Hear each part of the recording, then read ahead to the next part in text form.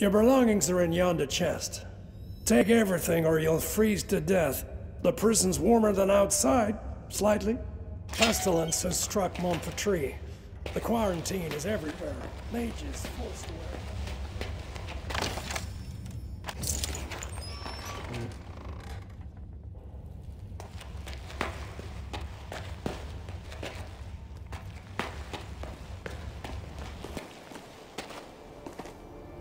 You're a free individual now. Bastion, why are you releasing the prisoners? Larry, you blockhead. Didn't you hear? A messenger arrived today, all the way from Marcella. I just came off duty.